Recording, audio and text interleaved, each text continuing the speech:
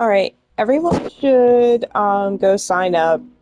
Like, just kind of pour yourself out a second to Bethesda.com and allow them to like send you ads and go in, register if you're not registered already, or log in if you are.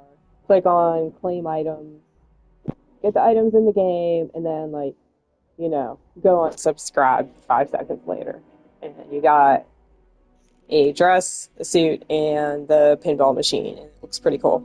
All right.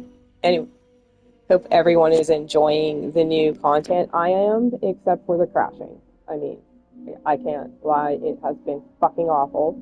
But I'm still trying to um, trudge through and give them a chance because autism, I guess. Anyway, um, everyone make sure you get that stuff because they're pretty cool. Have a good one. Bye.